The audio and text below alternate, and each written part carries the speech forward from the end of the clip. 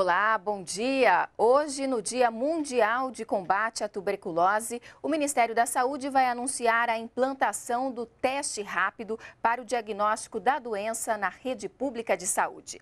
Vamos ao vivo à sede do Ministério da Saúde. O repórter Leandro Alarcon tem outras informações. Bom dia, Leandro. Olá, bom dia. Cerca de 72 mil casos por ano são registrados aqui no país. A doença atinge principalmente os pulmões, mas pode também afetar outros órgãos do corpo humano, como rins e também os ossos. Ah, segundo informações do Ministério da Saúde, o teste agora que será disponibilizado pelo Sistema Único de Saúde estará disponível em todo o país a partir do mês que vem.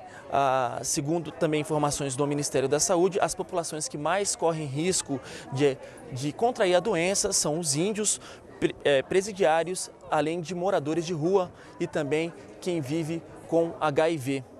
Malu.